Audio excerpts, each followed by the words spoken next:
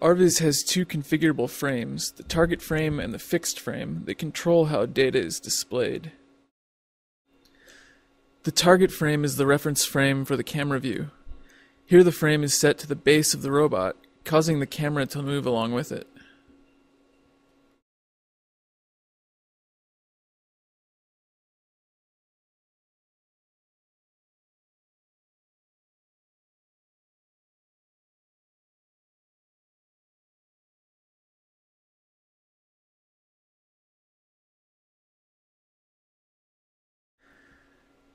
Now we set it to a rapidly tilting frame, which is mainly useful for causing nausea.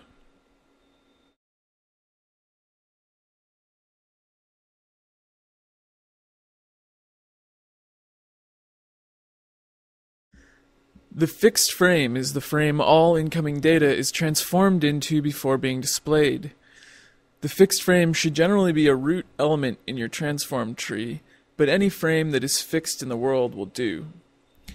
Setting the fixed frame to a moving frame, as we do here with the base of the robot, causes undesirable results.